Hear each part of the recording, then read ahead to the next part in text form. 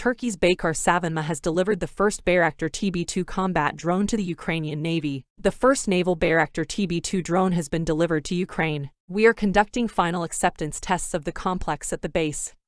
Andriy Taran, the Ukrainian defense minister was quoted as saying by the mod on Twitter Thursday, the Ukrainian army already has several Bayraktar UAVs in its inventory. Earlier this month, the army deployed these drones armed with MAM-C, a high-explosive variant of Roketsan's smart micro-munitions family, during the multinational Seabreeze 2021 exercises held in the Black Sea. Ukraine wants to buy many more Bayraktar TB2s and even plans to establish a facility to manufacture them along with Turkey. Following the increasing tensions between Russia and Ukraine, a Bayraktar TB2 conducted a reconnaissance flight on the 9th of April 2021 over the Donbas region. This was the first operationalization of the aircraft by the Ukrainian forces within an active conflict zone.